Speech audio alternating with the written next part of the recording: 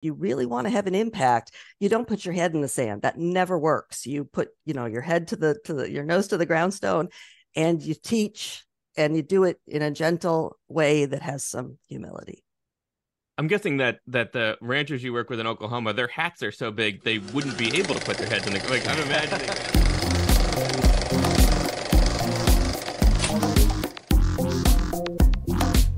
The New Brunswick Archaeology Podcast, featuring your hosts, Gabe Hrynick and Ken Holyoke. Welcome back to the New Brunswick Archaeology Podcast. I am Gabe Hrynick, and I'm here in a chilly, chilly Fredericton, New Brunswick airport. Or, sorry, let's try that again.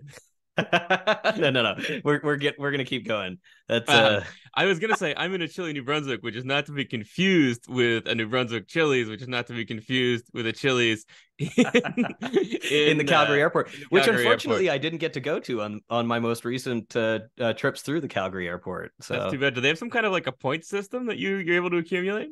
you know what? I haven't looked into that, but I probably should. It's You uh, probably should. You could be a member of uh, Club Chili.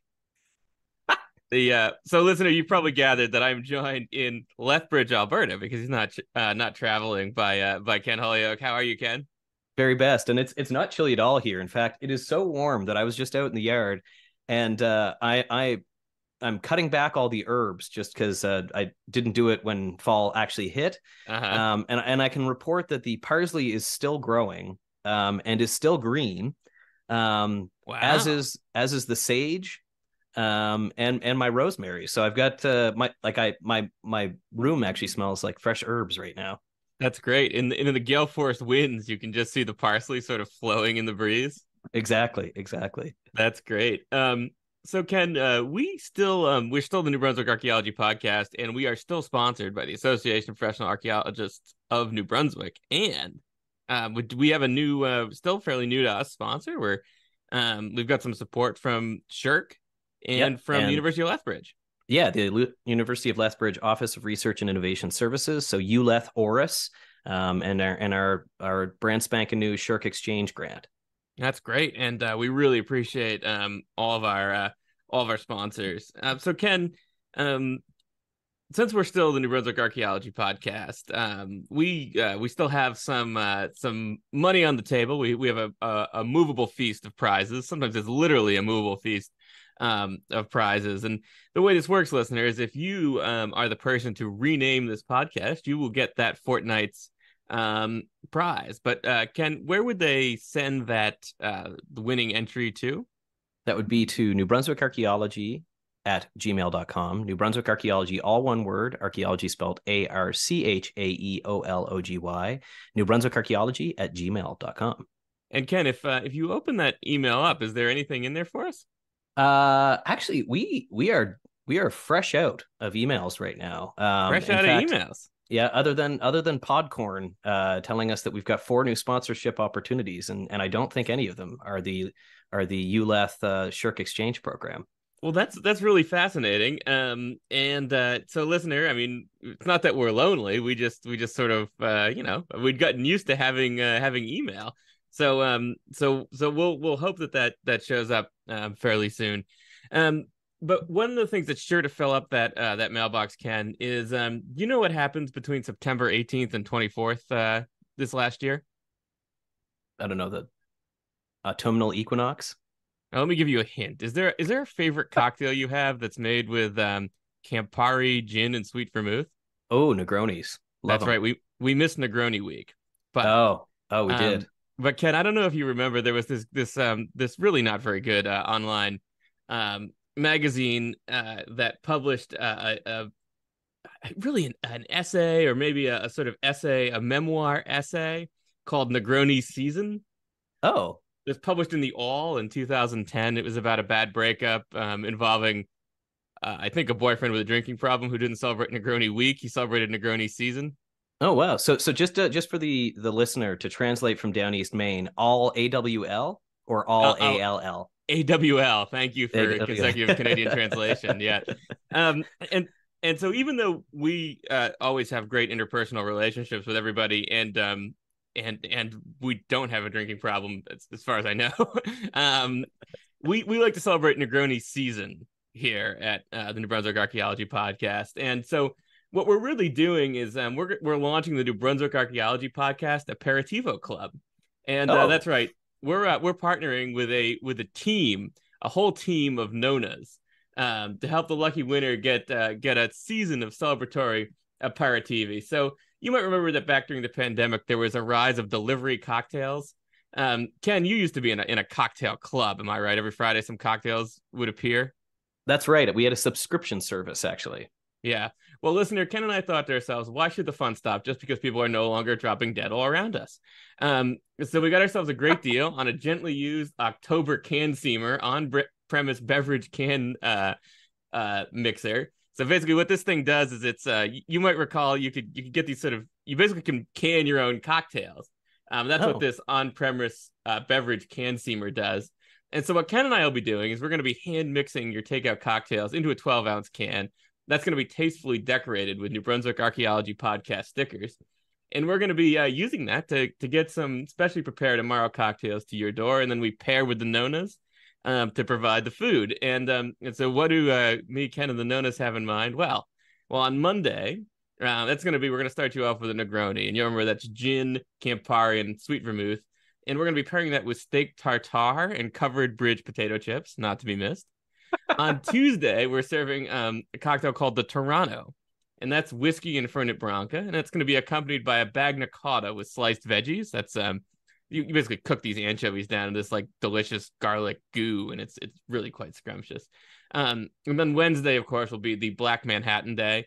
That's uh, rye, Averna, a dash of bitters, and those strong tastes are going to be accompanied by a, a caviar sour cream dip that we uh, that Oh, we like wow. to do. It's quite nice, yeah. Um, Thursday, uh, that's an Aperol Spritz Day. Uh, you'll remember that uh, an Aperol Spritz is something a little lighter after the earlier part of the week. We're going to do Prosecco, Club Soda, um, and uh, and of course the Aperol, and that's accompanied by a, a lovely Caprese salad. And then on Friday, we help you start your weekend off right with a cocktail called the Choke and Smoke. That's a Talisker, Cynar, and Demerara syrup uh, cocktail with just a little drip of saline that really helps accentuate the flavors. And we're going to be doing that with a freshly made ricotta served on a grilled sourdough. And so we can ship these anywhere in North America. And if you're within 10 kilometers, that's 14 miles of the University of Lethbridge, Ken Holyoke, and he's got you got to do this now before he sells his large um, transport bicycle. Ken will hand deliver your drink and meal kit in his courier bicycle. And so that's right. Uh, it's uh, As long as the wind's not blowing. As long as Yeah, the wind's yeah. not blowing. well, it depends on which way you're going. I mean, you could even get it there faster. That's true. Um, yeah, so um, so that's right. It's Negroni season here at the New Brunswick Archaeology Podcast, and so Ken, if um if someone has the winning entry to uh to to get in on this um Negroni season, where would they uh, email that to? That would be to New Brunswick Archaeology at gmail.com. New Brunswick Archaeology, all one word, and archaeology spelled A R C H A E O L G O L O G Y. New Brunswick Archaeology at gmail.com. That's great. And we are launching a um uh, uh some discussion now on the New Brunswick Archaeology podcast. We want to talk about um collaborations between professional archaeologists and avocation archaeologists or collectors. This is a theme we've talked about um uh On the show before, and with, with Matt, actually, most recently, Matt Betts, most recently. that's right. Um although we actually talked about it a bit in our ESAF uh, special ESAF episode as well. That's correct.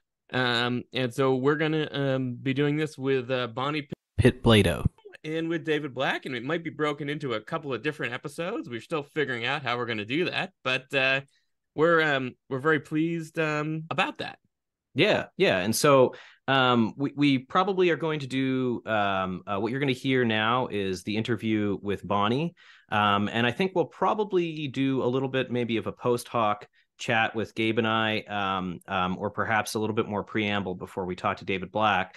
Um, but just for the listener, so they understand, um, this is essentially um, uh, we're talking about the sort of complex relationship between um, professional archaeologists and individuals who are um, uh, members of the public, uh, sometimes called avocational archaeologists, sometimes called collectors, um, and includes people who have private artifact collections um, and ways that we can um, work together um, for to better understand the archaeology of particular regions and particular places, um, and find ways to um, encourage and educate and engage people um, who uh, lay people and people who are interested in archaeology in the past um, in ways that are are not just um, legal, which uh, which we always would encourage and um, and would uh, uh, you know that is the an expectation of it, but also uh, in ways that benefit um, not just the individuals who have collections by them learning a little bit more about it, but the archaeologists who are interested in studying those things, descendant communities, um, and the public more broadly, because uh, some of these private collections are really incredibly important and actually can tell us um, about the past in ways that uh, that we have difficulty doing now. Um, for example, uh, coastal archaeological collections, as you're familiar with. That's right, and and we should probably um, just mention right at the front, uh, Ken, because if there's one thing we try to avoid here on the New Brunswick Archaeology Podcast, it's putting the Sioux in issue. Yes, um, is that um, it currently is uh, illegal to uh, collect uh, artifacts in New Brunswick. Correct. Uh, it's um, not the um, case in other jurisdictions, and it's not contrary to the SAA Archaeological Code of Ethics, as we'll discuss under all circumstances, but it is presently illegal in New Brunswick. Yeah, and and the way that the private collections work in New Brunswick is that generally um, it is viewed that collections that were precede that precede the enactment of the Heritage Conservation Act um, are uh, can be legally held by a private collector as long as they were collected before 2010 um, and are registered with the province. Um, but anything that is found since 2010, uh, you should contact the Provincial Archaeology Office. So that's the Heritage and Archaeology branch. Um, and uh, we'll put maybe their uh, website in the show notes. Um, and you can reach out to them, and uh, somebody from that department will reach out to you about uh, registering um, and probably accessioning your collection. Um, you can you can there's a donation process basically that a private collector can go through. That's right. Um, so I think, uh, Ken, I think we're gonna um, have our conversation with uh, Dr. Pitblado, and um, through the magic of uh, time travel, there'll be uh, addenda and adjustments to this this intro, or we'll be doing a post game. We still don't know. Yeah, exactly. And uh, enjoy the enjoy the interview, listener. Yes, indeed. Okay, so we are joined now uh, with uh, Dr. Bonnie Pitblado, um, who uh, is the Robert E. and Virginia Bell Endowed Professor in Anthropological Archaeology at the University of Oklahoma Department of Anthropology. Um, Bonnie received her PhD from the University of Arizona in 1999, and her research specializes in early archaeology of the Rocky Mountains and high altitude regions of Oklahoma. She has published in American Antiquity, Antiquity, Paleo America, Advances in Archaeological Practice, and Quaternary International, alongside books and edited volumes on early human occupation of high altitude regions. Um, many of those articles center on her interests, like your co hosts, in public archaeology and engaging the public in archaeology. Um, she is a founding member and executive director of the Oklahoma Public Archaeology Network, which links the public and a wide network of archaeologists and educators. Uh, hosts an October Archaeology month, month, which actually just wrapped up on November 4th, with a workshop on experiments in eth- ethnography, which is actually pretty cool. Um, a variety of archaeological skills, uh, ar- uh, archaeological skills workshops are hosted um, and community events. Um, they also publish a newly refreshed quarterly magazine called The Community Archaeologist, um, which was formerly the OKPAN Quarterly. Um, and it's aimed at publishing educational articles from uh, from and for the public, indigenous communities, and professionals alike. Um, and and Gabe and I were both remarking on how incredibly well laid out it is. Um, uh, the the formatting and everything in the magazine is is is very professional looking. It's it's quite nice. Um, but it's this focused on public public engagement that uh, also led Bonnie to chair uh, 2015 uh, in 2015 an SAA professional archaeologists, avocational archaeologists, and responsible artifact collectors relationships task force, um, along with uh, a number of colleagues. Um, and the result of this task force was the SAA statement on collaboration with responsible and responsive stewards of the past, uh, and a variety of publications since that time, among which we'd specifically like to highlight is a collection of articles and advances in archaeological practice in 2022, about professional collector collaborations, um, edited by Dr. Pitt, Pitblado and her colleagues, um, called Professional Collector Collaboration Moving Beyond Debate to Best Practice, um, which is going to be showing up in your show notes. So, uh, welcome to the show, Bonnie, and thank you, thank you for joining us. Thank you so much for having me. It's an honor. Well, we really appreciate you um, joining us in part because uh, Ken and I have both been using your work a bunch lately. I was fortunate to uh, to spend a lot of time reading through uh, your work and and the SA Archaeologist Collector Collaboration work while devising a code of ethics or on a committee for the Eastern States Archaeology Federation, which collaborates between um, avocational and professional um, archaeologists. And so um, I'm sort of familiar with the SAA Archaeologist Collector Collaboration Interest Group, but I wondered if we could start by you um, just giving us some background on that interest group and maybe defining responsible and responsive stewards, that wonderful phrase you use. Yeah, I'm happy to do that. Thank you for asking. Um, so that work was was initiated because the board of the SAA felt that this was an important issue, and so they reached out to me and asked if I would be willing to chair a task force. And it is something I've been interested in since even before I graduated with my PhD. And so I was happy to do that and, and really excited to learn through that process to really take kind of an ethnographic approach um, to see what people are really thinking out there. Because so often, what we might think from our own perspective, everybody is thinking they're really not. And so that was kind of the spirit in which I began the process. It was important for for me, I thought, to have as diverse a group of participants as possible. So I really thought carefully about the rain the the places that were represented the g- different geographic regions because different different countries have different laws and this is the SAA so it includes all of the western hemisphere and things are very different south of of the border of the United States than they are here oftentimes. So I tried to just maximize that diversity um, diversity in terms of the the different backgrounds of the pr- practitioners museum sector versus compliance sector demographics of all sorts so that we I really tried to balance all of that so we'd have as many voices at the table as as we could. We're never going to get everybody but it was a really uh, exciting process. We worked for a long time. We read, we started by reading, really doing a deep dive into all the literature we could find, and everybody kind of crowdsourced literature, and then we all read it. Um, and then having extensive conversations, and and those conversations did include, by the way, collectors from the that I would consider to be that we um, would consider to be responsible or responsive. And the idea here is that that our our findings from this effort of reaching out to so many people and, and encouraging participation, which is hard to, you know, a lot of times people aren't interested, but in this case, we got a ton of responses. And the vast majority of those were from archaeologists who favor collaboration when it's appropriate. And we all in our task force agreed that there is a time that it's appropriate and there's a time that it's not. There are clearly uh, um, a sector of folks out there who are the looters of the world who are doing the collecting for personal gain. They have they do not have interests that align in any way with those of archaeologists. Um, and so those are the we were trying to figure out a way to um, agree on what makes those folks unpalatable to so many i guess is the word you'd want to use unethical to others. Whereas so many other collectors out there i think we think um, had had interests that really align with that converge with those of archaeologists. They're collecting because they feel a connection to their land. They're collecting because they feel a connection to all of the people who walked there and left items before them, and they want to to really um, honor that. They want to steward the materials carefully in many cases, and at the same time, they've had to to really um, sort of fend off um, archaeologists who just want to lump them all together. Um, and so, as a task force, we we really wrangled with that and came up with this term RRS as as to represent those folks who do have that interest that aligns with those of archaeology and stewardship in general, and that leaves out anyone who's collecting illegally, but also who is doing it for those reasons that don't align with ours.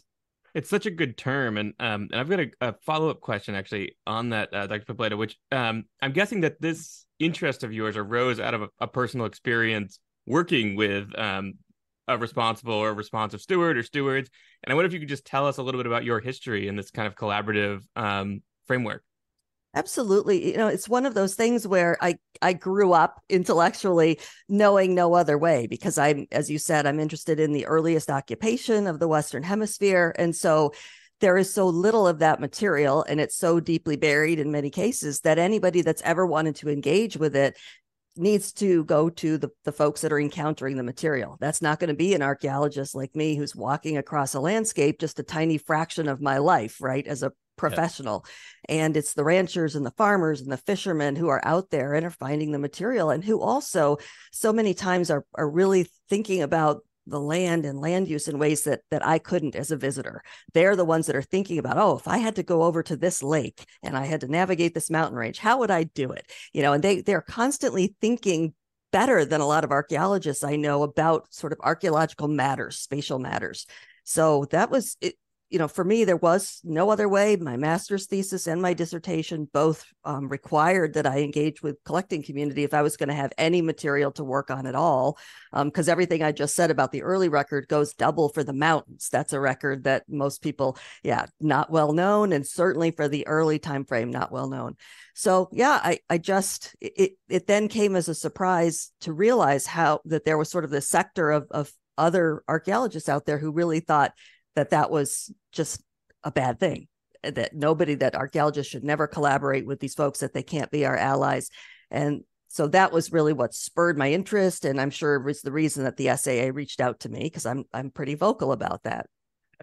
Yeah you, you frame it um, actually really great and um, uh, there's a 2020 uh, co-authored piece that you have um, where you frame it as this um, this pendulum that's swinging between sort of co- collector professional relationships, and that um, it kind of goes sort of between support and condemnation, basically, and and and so can you maybe explain for the listeners what sort of the history is and the like uh, like why so apart from sort of the ethical challenges and and uh, the issues with, with looters in particular um, you guys uh, kind of do a historical uh, uh, where did collectors come from i mm-hmm. guess mm-hmm. in uh, when it, when we think about them sort of as the in the history of the discipline well, I guess you know the discipline started as as you know as antiquarianism, right? So before there ever was an archaeology, people all people have had this compulsion to collect stuff and that goes for Uh, you know you me your grandmother people in the past who you know will find artifacts from prior cultures with them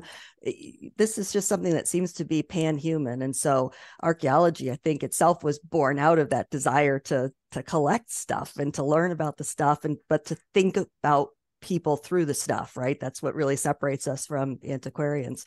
So I think the history is really deep. And I, I do think that archaeologists are quite culpable in this whole sort of pendulum swing. We forget that that's how we started. We forget that we share that value with other people out there, almost everybody else out there.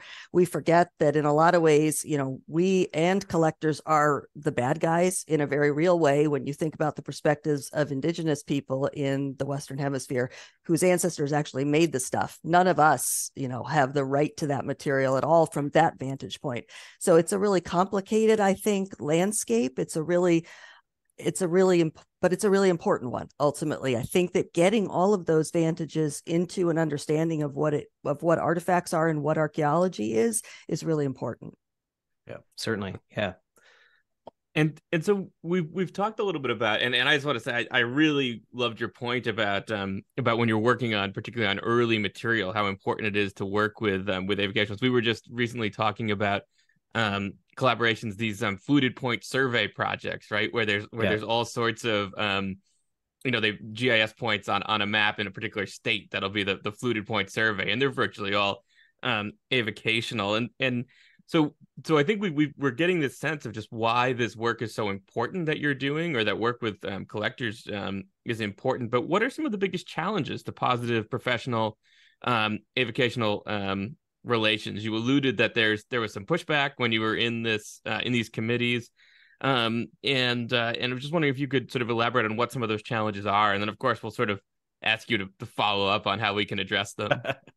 Yeah, I mean, I think the pushback can come from all of those different sort of sectors that I just identified. So, fellow archaeologists sometimes, less, much less often than it's, it's the same case as it always is, where there's a few people who are the that feel very strongly about something, and they tend to make it seem like it's a much more um, sort of out there and accepted view. And what we saw in the data was that these are mostly SAA members and, and nearly all of them really support this kind of collaboration and recognize that it's that it's certainly better than the alternative. So nonetheless, some pushback comes from archaeologists themselves who who feel at least in this moment or that moment that it's not an appropriate thing to do. Um, but there are there's also pushback from a lot of people in the collector community who have had bad experiences with archaeologists. Um, and I've seen it. I mean, I have watched archaeologists be just monstrous jackasses too. I don't know if you can say that in a podcast, but just jerks. yeah, yeah. I would have said worse. I was trying to censor, but uh, you know, I they just really we can be an elitist bunch of jerks, and so I can see where um, with the experiences that they've had, they would not want to have anything to do with us. So I, I oftentimes, uh, in you know, in trying to establish a relationship with someone, would have to overcome some other archaeologist's really bad negative interactions. There's some horror stories out there, and I believe them.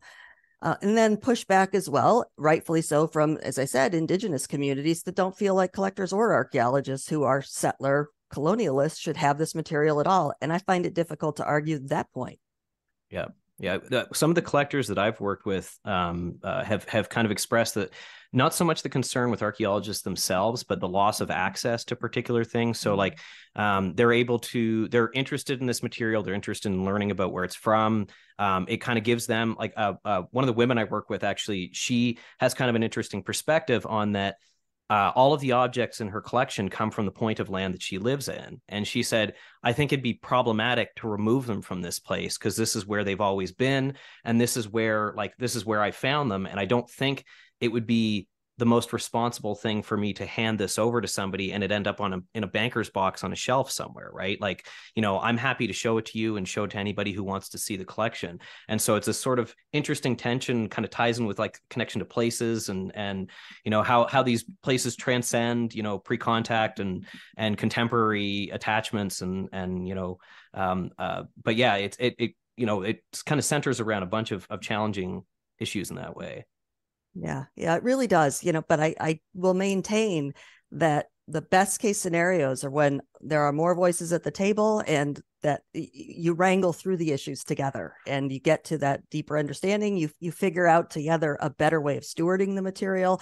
but archaeologists have to be willing to let go of the idea that we know best that that our western museums are the places this stuff belongs. That's offensive to collectors in a lot of cases like the one you just mentioned ken. That's a great example. And it can be offensive to indigenous people right? So yep. there's just so many it, it, makes it really an interesting anthropological problem. And i like eh, you know these days i'm doing more engagement with it from an anthropological perspective than from sort of as an archaeologist. I'm not doing the same kinds of like fluted point surveys that i did in my my early years of trying to sort of wrangle with the actual record of early people in the mountains. I'm much more interested in the in the human relationships with the artifacts belongings That's, right i mean even yeah. that even that language is is changing and i not think not changing fast enough but certainly if you look in some bodies of literature that term belongings is preferred now in archaeological literature to artifacts to exactly to signal that these mean a lot of things to a lot of different people that's such an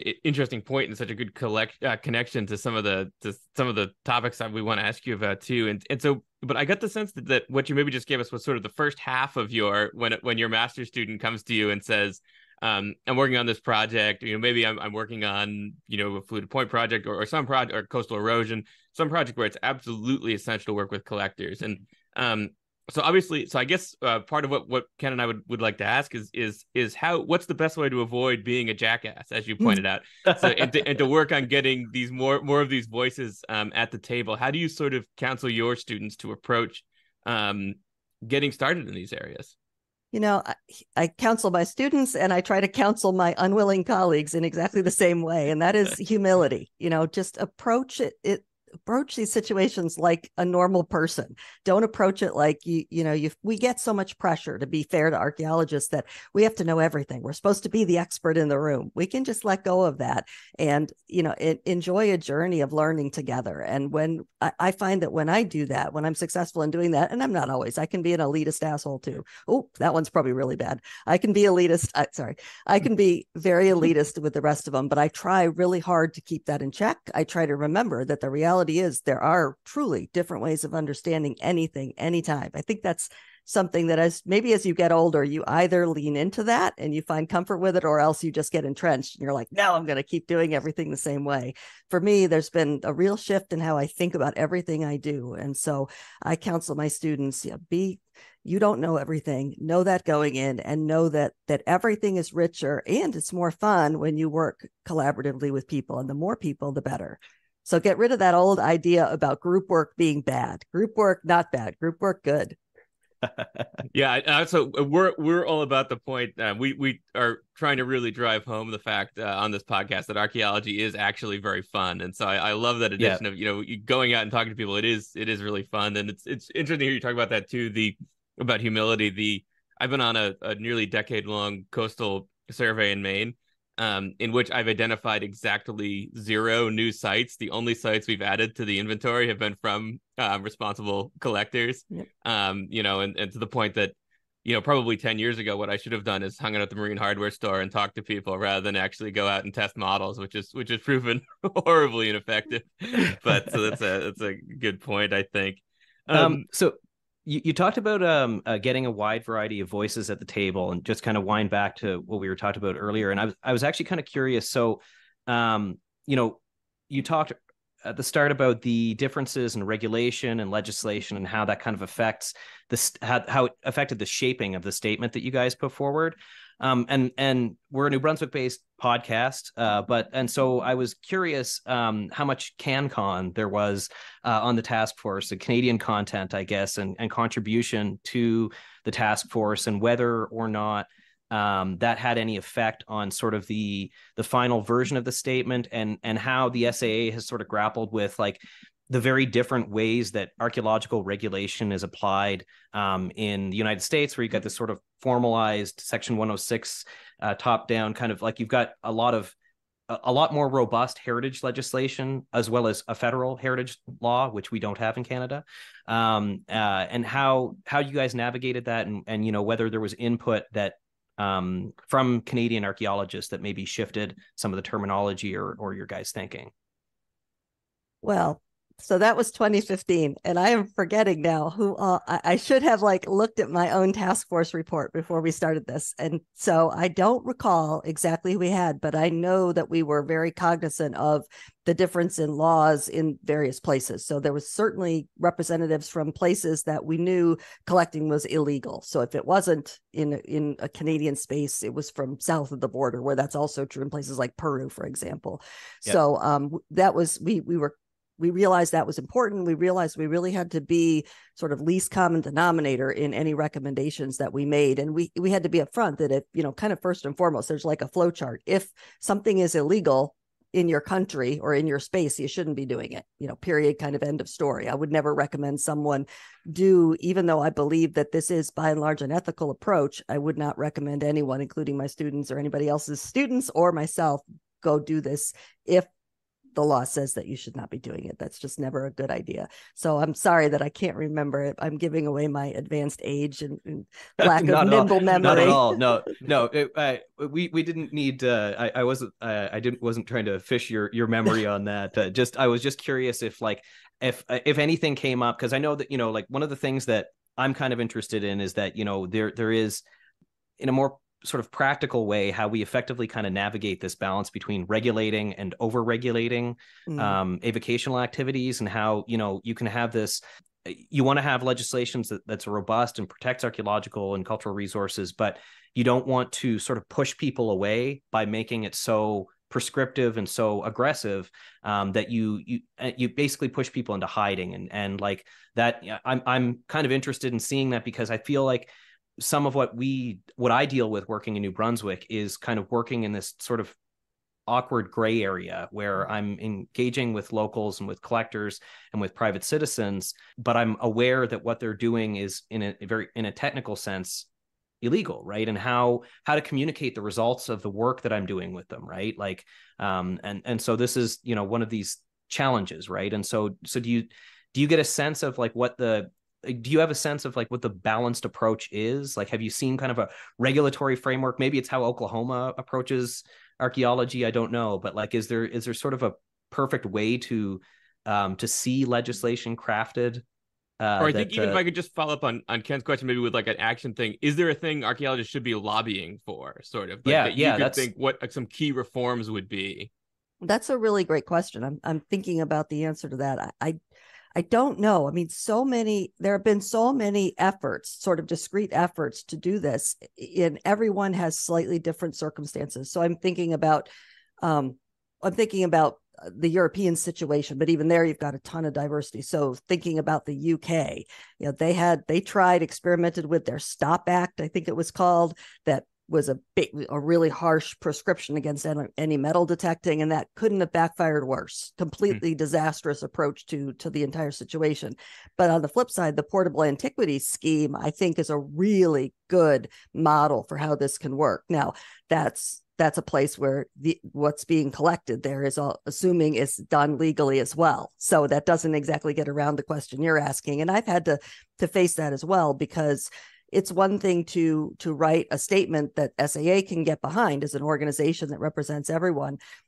There's no doubt we had to put that language about legality in there. On the other side of that, there are plenty of places, including in Peru, despite what some Peruvian archaeologists would say, and in Mexico, which is another example of a place where it's just do not do it, right? You're going to get in big trouble with INAH there are still collectors who are collecting in a way that we would consider to be responsible and they have so much information. There's looters certainly you know that fall into that other class and and i know lots of archaeologists who work with them.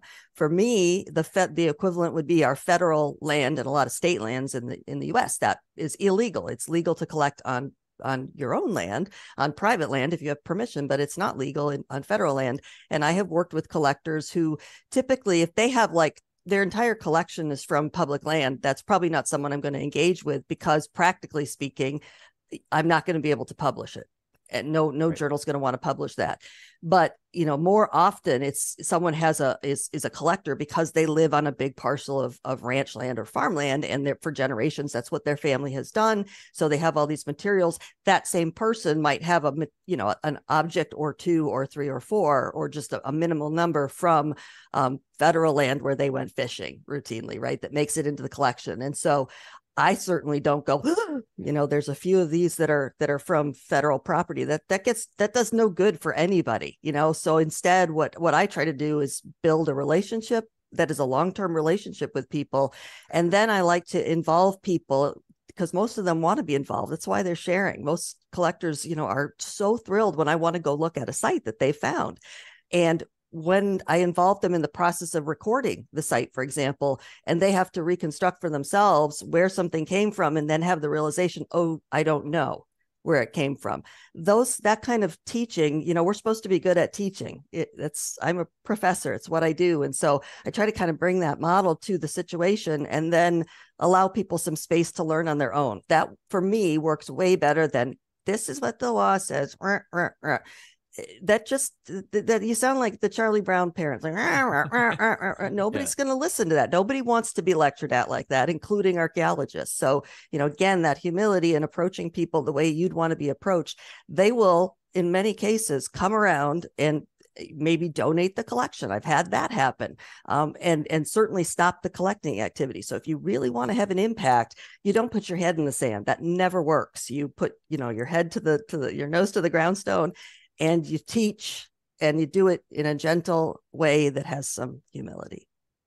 I'm guessing that that the ranchers you work with in Oklahoma, their hats are so big they wouldn't be able to put their heads in the like. I'm imagining that. I, what little I know about ranching in Oklahoma, it, it seems like I, I, I, guess you you see some fantastic hats, and but I think that that's such an important point, and I think one of the the things that that your work helped um help people aware about is that that maybe as archaeologists, one of the things we need to be doing is creating more opportunities for folks that are interested in archaeology, but not as a career, but who are. Um, and and I was wondering, you you mentioned one I think sort of important thing, which is that when you're working with um, a collector on that collector's um, material. Um, to include them in the in the data collection process and the data recording process. So I think that that would be one point. But I'm wondering if there are, there are kind of other um, suggestions you might have, um, whether uh, at a at a group level for including the public in a way that facilitates some of these relationships. Yeah, you know, if I'm interested in a new place, the way I've always started is by I like to marshal students because students have relationships in the communities of interest, right? And they they can get places that I never could. And so because they can tap their grandma or grandpa.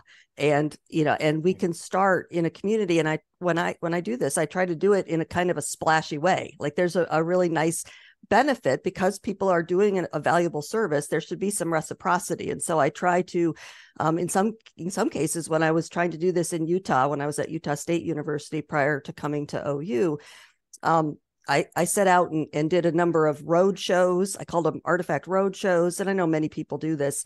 And we would make sure that the press knew about this. And there was some some pictures and it would be family events. We'd bring barbecue stuff. And so that people would would know this is cool they could come their picture might be in the paper and we do it multiple times and what i was trying to do is to create an atmosphere where people want to be part of it rather than like you know having to so that they would come to me rather than and that's that works you know if people see that there's something in it for them that it's fun that there are people that will be respectful of them that want to know what they know they will they will do the work they will come to you and you don't have to to fight that, that battle anymore yeah, That's yeah there's a lot more comfort engaging with people who you might not be regularly comfortable with, like sort of that, you know, that sort of spooky ivory tower archae, you know, university people coming in, right? That uh, that they're always there to observe you as opposed to be part of the community. Yeah. Yep. Are there um are archaeological societies a big thing um out west as well? Yes, they are, and and oftentimes those are places that'll have like uh, that's a great place to start. They, there will be, you know, every state is different. Oklahoma has an interesting history of having um, very expressly expelled all of their collectors into their own little organization, and they so the OAS, the Oklahoma Anthropological Society, now is is sort of as as gatekeepy as any um, as any archaeologist that I know in terms of really keeping those collectors at bay. I don't think that's a healthy thing in Oklahoma, and I haven't seen it in other places I've worked, like Utah or Colorado, where um, there's more room in that tent and more of that sort of ethic of education. You know, let yep. people be part of the group and see why we do things differently as archaeologists and why it can be just as rewarding and fun, just with different currencies. Is is that sort of where the like the idea for the Oklahoma Public Archaeology Network came from came out of? And and do you want to speak about uh, uh OKPAN a little bit? Sure. So so OKPAN is about I guess 6 years old now. Um and yes, I when I took the position at the University of Oklahoma, it was it was advertised in this phenomenally interesting way to me. They wanted someone who focused on the earliest cultures in the Americas, ideally someplace in the vicinity of Oklahoma, so not too far afield, but they also wanted, and this was the intriguing part, someone who would come heal the relationship between archaeologists and avocationals in the state. Oh, that wow. was pretty, yeah. I can't remember the phrasing and I can't find the job ad to save my life. I save everything, but I can't find that. But it was something like that that got my attention. And they kept calling me because there's not that many people that do it. So, it, you know, it's just one of those things. But um, I got to Oklahoma, and the first thing I wanted to do was to make sure that that there really was such a schism. I don't like to take things, you know, at face value, and so I had a, a student that did an ethnographic study of the avocational community and professionals, and learned that yes, indeed, there is this big schism, but as we then tried to move forward and co-create with the organization what a solution might look like it became really clear that they kind of had they needed to to kind of make some decisions as an organization. And that trying to make this kind of change you know by coming in sort of as an imperialist and just imposing it that's not going to work. And so I decided to step back and then in, in, partnership with some graduate students of mine who are just really brilliant people, we envisioned what what we what we could do in a state like Oklahoma where we have so many constituents who care about the past in distinctly different ways. And we really you know I'm a firm believer and long have been in the value of public archaeology and of, of education and of you know letting people talk enabling facilitating conversations difficult conversations across boundaries population boundaries. I believe that's the only way you know to help any situation including sort of our polarization um, that we're all experiencing these days that is so sort of accelerated in the last five to 10 years. I, I, really think that heritage, I think of it as harmony through heritage. That's actually a chat GPT like phrase that it came up with, and I loved it. it's I, good. It's, I know, like, thank you, AI. That's awesome. You know, I just think it sort of expresses what I what I want to do with the remaining days that I have on earth, which is to use my, you know, my particular form of expertise, which is just one for understanding heritage, and bridge it with all of the other ways of knowing that are out there and to create conversations among people today. That's what i when i say i'm more anthropologically focused that's kind of what i mean. Um, that's where i want my energy to go. That can trickle into the classroom because i don't know about new brunswick but at least here in all of the united states we're still not 50 years after you know sort of educational archaeology was a thing we're still not doing it. We're still not introducing kids to archaeology until they get to college. Then we've got to find them convince them that this is a thing that there's real jobs to be had and it's really it's silly. We, we should be doing this in school because yeah for a whole lot of reasons. So i'll get off my soapbox there. I'm, I'm getting yeah. No no that, no that, uh, you could keep going. That's uh, you're sort of speaking speaking our language basically. Yes. that's uh, that's exactly that's exactly why you we invited you here actually is because of yes. this sort of thing. And and and uh, you know and and really like why we kind of wanted to start doing this podcast basically right was that there's a kind of a vacuum of public engagement and public education in archaeology in, in new brunswick. We actually don't even have a functioning uh, archaeological society. Mm. Um, and I'm I'm out here in Alberta now, and I've been just blown away by how um, uh, how effective the Alberta Archaeological Society has been at engaging with the public and with collectors and with like just people. So you know, like they're we we we are co-founders of the Professional Association in New Brunswick, which has become sort of the de facto uh, body of of public engagement. And and I think we can we can boast maybe having 25 people come to one meeting one time and and uh, and that would be the bare minimum for any of our meetings here just in the Lethbridge Center of of the uh, Alberta Arc Society. Like so and and kind of it sounds like the OKPAN is doing the same thing that you guys are sort of building from the ground up and and engaging everybody and kind of taking down those barriers between um, the various different forms of engagement with heritage in the past, right? Yeah, that's that's exactly it. You know, and it's it's very much a it's a it's also OKPAN's also sort of a laboratory for students. What I try to do is I have this nice endowment because of that fancy name that you read off on my, uh, you know attached to my to my title. Um, there's a lot of money there and i feel like i have a, a, choice. I can either sort of perpetuate the structures that are not helpful that i think a lot of us in 2023 are realizing have not been helpful. Ivory tower business you know churning out a homogenized archaeological population all of that stuff. And i think that i've always thought students are students are the future. They're the key to to making change. It's not to try to educate the old people. They're not you know, some of them will change, but a lot of them are not going to change. So that's where the energy goes. And I start with the college population because I can take that money and I can encourage them to think in their super creative, pliable way that they do about how we can bridge, you know, other communities that we're not yet bridging. What can we experiment with? and I can fund them, you know, help them get their education, but then also have this impact that kind of trickles out through the community. So the more communities that someone can serve. I, I like to challenge them to double dip, triple dip, quadruple dip. How many can we can we serve with one effort in one way or another? And it's really it's really fun. So we don't we're not doing stuff like anybody else. We kind of stole our name. We didn't steal it. We told them we were going to do it, but FPAN is the Florida Public Archaeology mm-hmm. Network, and they are you know they are a very different animal. But I love that they're I love their acronyms. So so that's the only thing we share in common, except for we get together and we have pancakes in honor of the fact that we're both pans. that's awesome. And we're both we all we also both feel like every state and maybe every province should have a pan. So yeah, maybe you, I don't know what it would be like New Brunswick pan. That doesn't N, NB pan. I don't know what it would be pan. for you guys, but yeah. I do feel like we're onto something that could work. It, that's very transferable and could work other places. So that's, you know, another thing I would like to do now that we've sort of figured ourselves out. We've created something that I think is valuable to the various communities.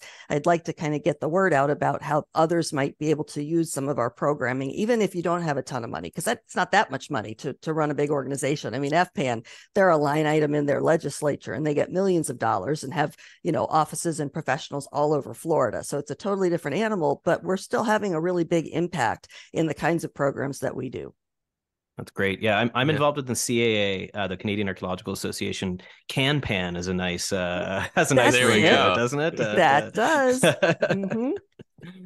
Well, we want to be mindful of your time here, Dr. Pitblado. We really appreciate you you coming on. And I think one of the things that, that I'm excited about about this conversation was that that you've you've left us with a lot of, of aspirational goals, I think, here, which is which is also one of our goals on the podcast. So We like to to to sort of try to leave the listener with hopefully exciting next and collaborative um collaborative steps. Was there anything uh, you wanted to follow up with, Ken? Or Uh, no, I actually, well, I guess we should turn it over to you. Do you have any, um, was there anything that you want to highlight in particular in the work that you're doing, or is it a particular project or, um, uh, a piece that you'd want to, want to kind of pitch that we haven't asked you about? Um, uh, or do you have any questions for us, I guess, about, uh, about how things are going? I, I mean, I, like Gabe said, this is sort of, it's great. Like a, a it's nice to end on a kind of a, this high note about, you know, how, how well OKPAN is, is kind of working. And, and, uh, I mean, my takeaway is that we need to find a um uh we need to find a, an endowment for New Brunswick archaeology. Really, Gabe, that's the that's the that's the next thing, right? There's other ways though. I had eh, when I listen to me, fellas, when I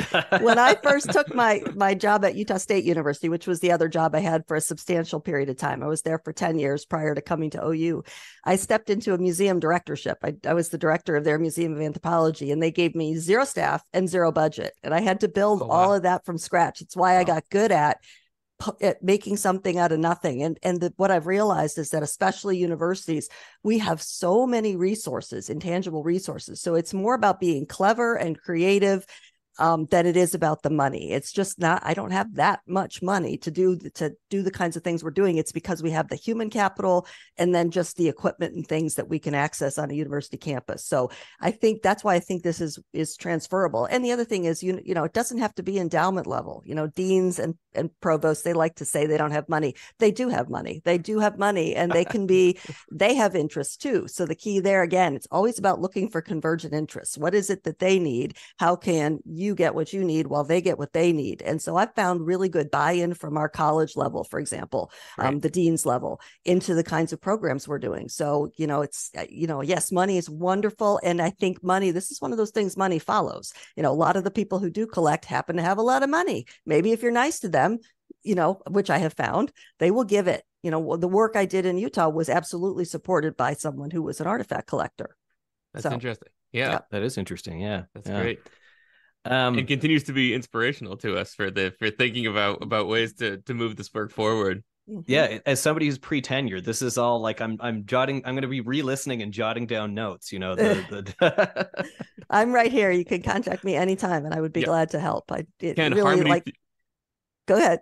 Oh, sorry, sorry, sorry. I, I I cut out from it minute and then cut back in. I was just gonna say harmony through heritage should be written on the top of your pad. I think. Ken. I, I think the- so. Yeah, no, I've got it circled actually on my on my sheet of paper right here. That's Yes. uh, that's Isn't probably that the good? episode title right there. I think I that's think the, it is. uh, That's Yeah. good. That's really good. Actually, that's Yeah. a good. Yeah, you use it that way. That's great.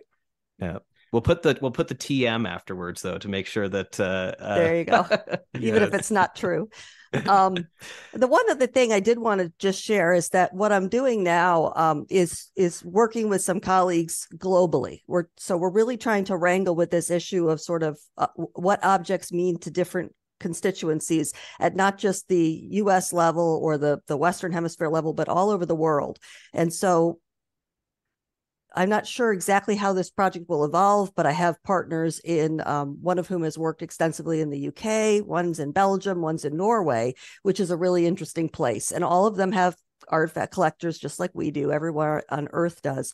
And so we're all sort of thinking of ways that we can work ethnographically with those different populations, those different demographics that we talked about before the archaeologists, the collectors, but also indigenous people, not just in the Western Hemisphere, but Norway, for instance, has the Sami. So, what do they think about objects? And, and are those relationships in what ways similar? All, it, all of it with the goal of, again, identifying ways where there are convergences. That where there are harmonies, you know, if we're going to go back to our harmonies thing, because I really think that archaeology could use a reconceptualization, a retheorization of what artifacts are so that it, it does become something, the terminology even changes to be something more systematically like belongings, which is what they Yeah. really, really are. So Yeah. that's what Yeah. I'm, that's the sort of the current direction I'm taking this stuff. That's that sounds like a sounds like a fun direction actually. That's um and I think uh I, I think that's uh, Gabe, do you have anything else to to add at this point? No, I was just going to thank Dr. Pitblado for coming on because we, we really appreciate this perspective on this work. And I, I think it's just incredibly interesting and also um, incredibly important. And um, it was it's nice to meet you in person because, as I said, I was engaged with um, a, a lot of your stuff when we were working on that Eastern States Archaeology Federation uh, meeting thing. So thank you very much. You you had Yeah. done um, such a exhaustive um, work on it, and especially the uh, stuff you guys published in Advances in Archaeological Practice was so useful um, Yeah. for us. So so thanks very much, and I think And- that our listeners will get just as much out of um, this conversation, um, but they should also check out your work, which we're going to put in the show notes, so they'll be able to to find that.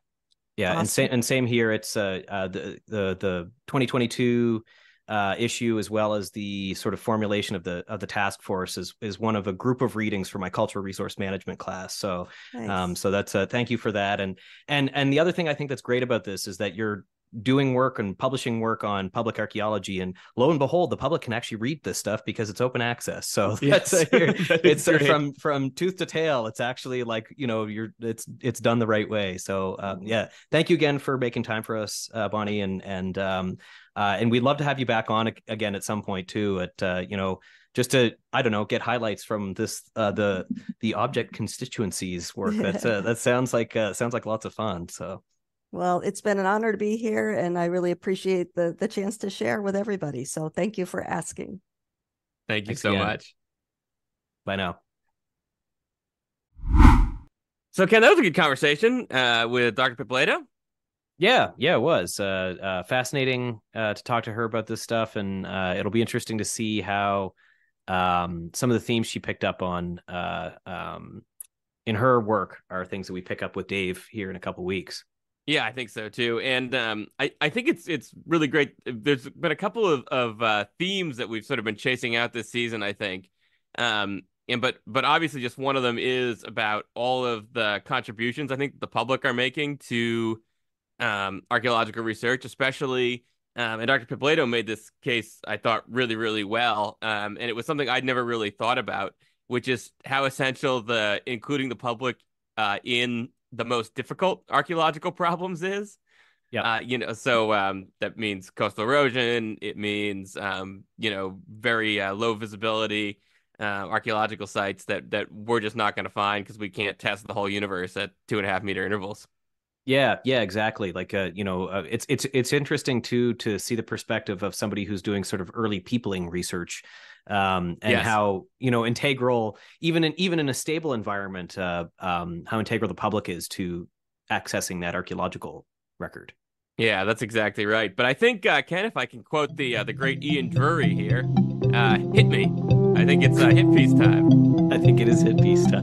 Yeah.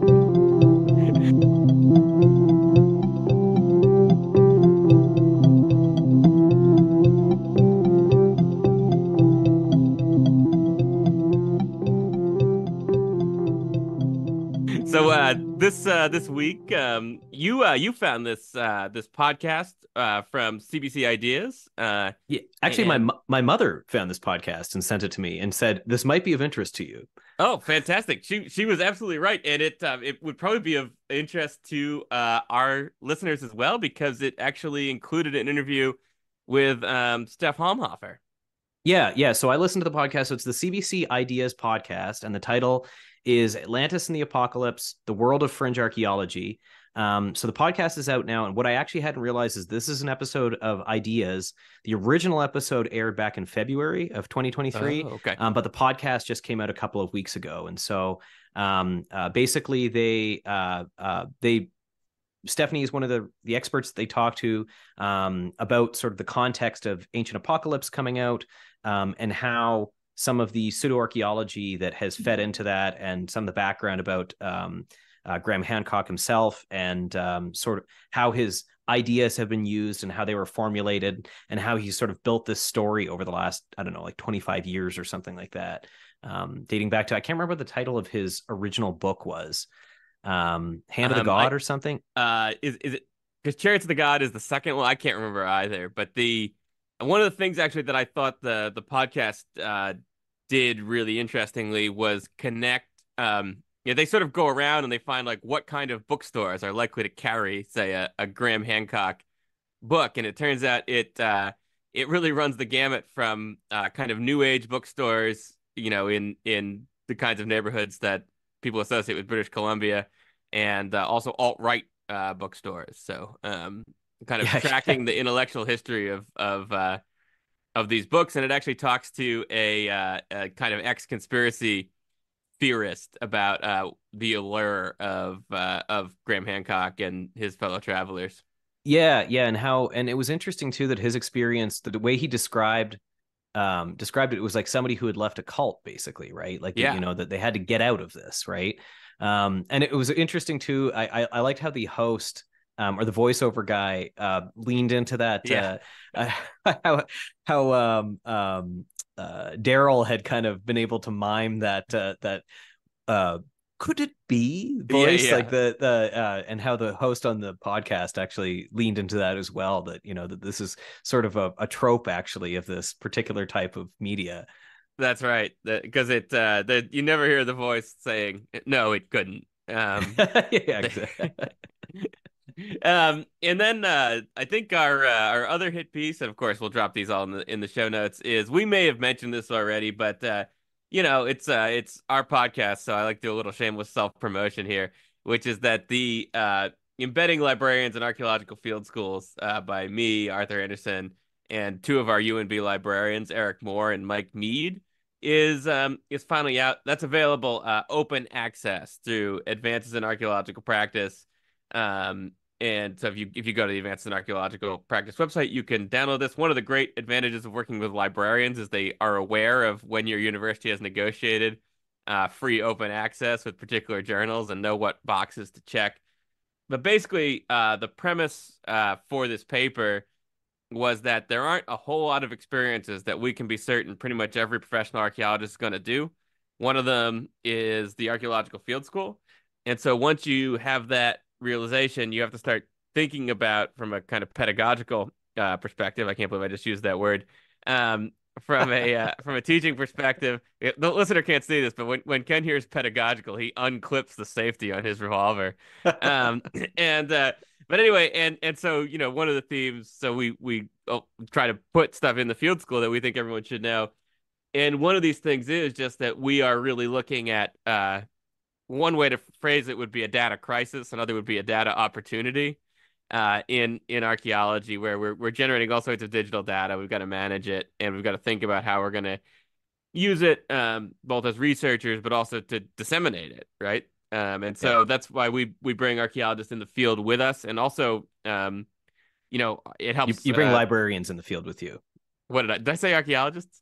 you did yeah, Yeah, yeah, remember yeah. how you you you the first time you sent me this paper you told me it was called embedding embedding archaeologists in, in in archaeological field schools yeah, no, it's pretty confusing. Uh, the uh, Ken, we we upstream and downstream synergies so quickly over here that Yeah, I sometimes think- you just get caught in the eddies.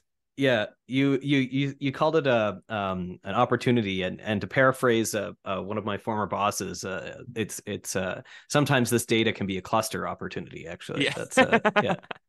exactly, exactly. So anyway, um, check it out. Share it with your librarian. Uh, tell your uh, your librarian to um, uh, share it with their dean and try to shake the money tree to get some uh, some support for them. Um, but I should also say, uh, if you're in, uh, if you're going to the SA, are you going to the SAAs this year, Ken? Uh, I don't think so. Yeah, I don't But- think I am either. But if you are going to the SAA's listener, um, Eric Moore uh, is going to be presenting a poster on some of this work um, at the Society for American Archaeology meeting uh, in New Orleans. Yeah, and you can you can see that there. Maybe we'll um uh after the conference, maybe he'd be willing to share a poster Yeah. for us to link to or something. That'd be a great idea. We might even want to get him on just to talk a little bit about this. Yeah, yeah, that'd be Um, great. Yeah, but yeah, that's right. If you see him, bring him a Sazerac and a po' boy, and uh, tell him you heard about him here first.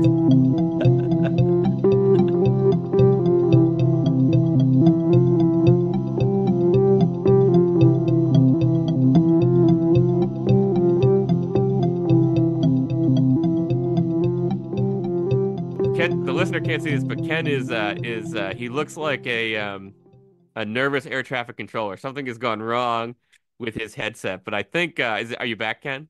I'm back. I'm back. Yep. It was uh, it was almost a almost a failed dongle. Oh wow. The uh, Ken, Ken actually wears a, a bandolier of dongles now when we do this, so he can. I believe it's called hot swapping. He can hot swap the dongles. Exactly. Um, exactly. The uh, well, uh, thank you very much, uh, Bonnie Pitblado, for being on this episode, and thank you, listener, for tuning in. Yeah, thank you, listener. And we will see you in a fortnight and we will continue the conversation about archaeologist collector relationships with friend of the show, David W. That's right. Talk to you soon. Bye, listener.